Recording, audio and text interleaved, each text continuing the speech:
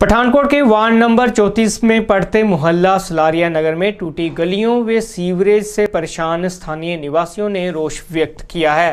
निवासियों ने नगर निगम व पार्षद रोहित पुरी को इस समस्या संबंधी कई बार बताया है, लेकिन समस्या का अभी तक कोई भी हल नहीं निकला है। स्थानीय निवासियों ने प्रशासन के आगे मांग की है कि इस समस्या को जल्द हल किया जाए। मोहल्ला निवासी Salaria Nagar.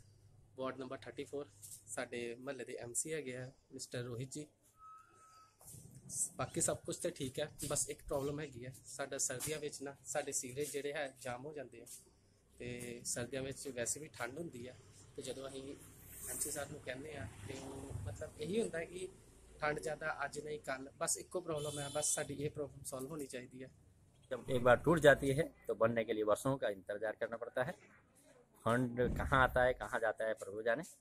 बाकी कोई खास समस्या ज़्यादा नहीं है।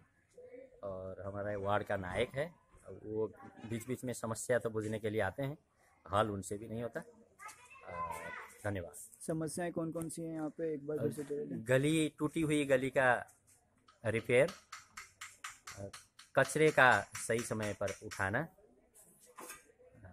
टूटी टूटी हुई गली एवं मेन सड़क दोनों का रिपेयर चाहिए। पानी की खास समस्या नहीं है। आ, कहीं स्ट्रीट लाइट जलते नहीं हैं। जो नहीं जलते वो समय समय पर चेक करके जला दिया जाए। बाकी बहुत ज़्यादा समस्या नहीं है।